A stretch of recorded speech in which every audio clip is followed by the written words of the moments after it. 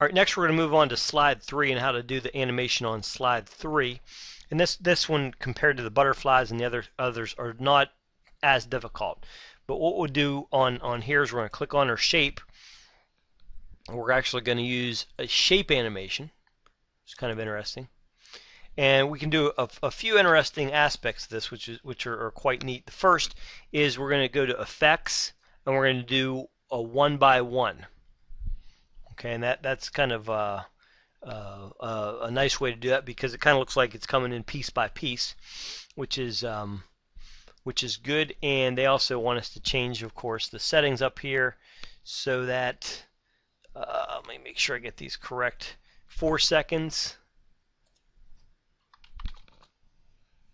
one second delay, and that will be after previous. Okay, so that's how you animate slide 3. Not too bad. I'll go to slide 4, click on my chart, and we're going to do something interesting. Here we're going to do a fly-in animation.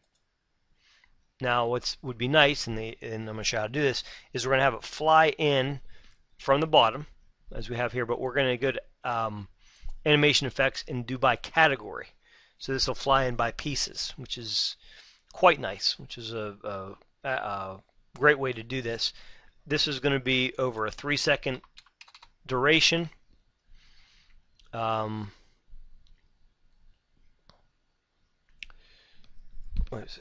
Maybe I have the wrong numbers on that. I, let me check. I apologize. Yeah, three seconds and um,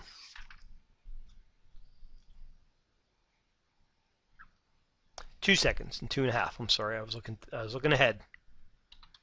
Don't look ahead too much a lot of different uh, options in here. So um, make sure you double check those as I'm, I'm doing as I'm going through here. And this should be after previous. Okay, so 3 and 4 wasn't too bad. Let's go to slide 5 and we're going to do some, some um, relatively extensive animation on this. On slide 5, I'm going to select the text box on the left and I'm going to add a uh, an animation here that is going to be a shape entrance. Okay, and the settings are going to be um, three seconds.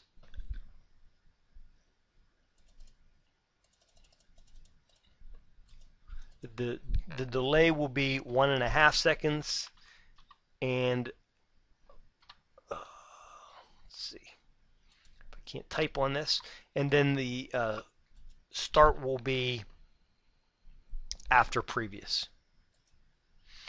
So that's for this, this area over here on the left. Now we're going to do some effects. They want the effects to be out and diamond, which is a, a pretty neat um, looking animation. Now one other thing we can do is we're going to do something after the animation. And this is kind of a, a, a nifty little um, area here. Over on the left here, this is my animation pane. I have that open, so you'll need to have that open. If you click on, on the area uh, to the right, there's an option to come down, and you have some effect options. What we're going to do is after the animation, I'm going to change this to, looks like a purplish color. Okay. So when the animation's over, it'll actually change that to purple, which is a, a, a pretty neat effect. All right, now you can see how that's doing that in the preview, which is nice. But what's what also is nice is I'm going to click on this this area over here, and um, rather than do the exact same thing to the right, I'm going to use my animation painter, and I'm going to apply it to this text over on the right. It does the same thing.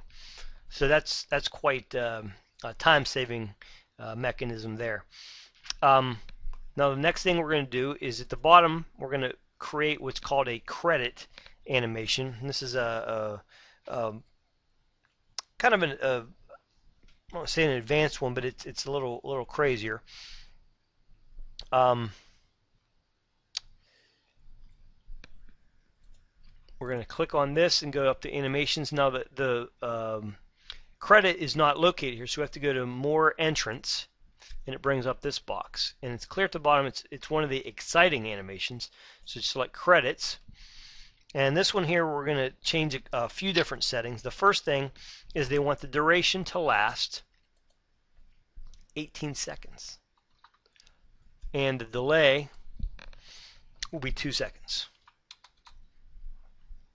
Now, if you look in your book on this, one thing you might notice is that the text down here is is green, but uh, in the book it's per it's pink. So I'm going to show you how to change that. And this is kind of a nifty uh, approach. So I'm going to go back to my Home tab.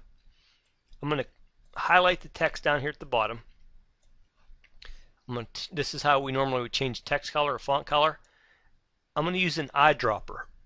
And the eyedropper lets me find the pink I want on the screen and now it changes that for us at the bottom automatically which is which is quite nice okay um, go back to slide one for a second just because the last part of this we're going to talk about is under transitions they want us to add a transition that we're going to apply to um, all actually most of the slides and this transition is called a box transition and the box transition is here and we're going to make that box from the right and we're going to apply it to all the slides.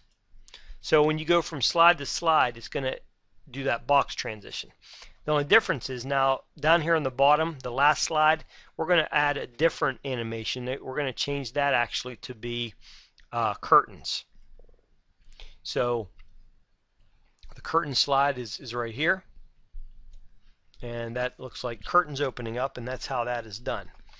Now, I'm not going to go through the last couple parts, but they talk about how to make a self-running presentation, which is nice. Um, I can't really do that here because it will run forever and ever. But if you're going to have set up a, a, slideshow that you want to have um, on a display table or something like that, it talks about that at, at the end and also how to set up a, um, a manually timed uh, presentation. So I, I, encourage you to take a look at that. Um, not part of the project, but um, certainly a very valuable uh, part of, of learning PowerPoint. Good luck.